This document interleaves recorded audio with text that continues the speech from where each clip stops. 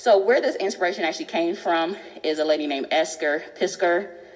Her son, you guys have probably received plenty of emails. Steve, he's been a fighter.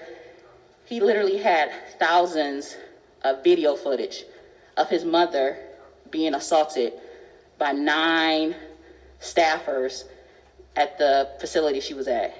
His mom at the time was not able to speak. She was barely able to walk. She couldn't bathe herself.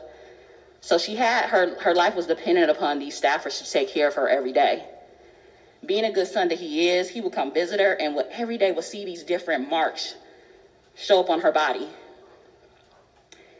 And he did something as simple as let me go put a secret camera inside her room. It's crazy to do something that's protecting your loved one has to be a secret.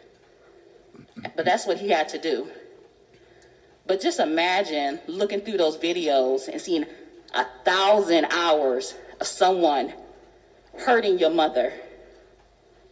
And I realized once I decided to do this bill, other people start sending me video footages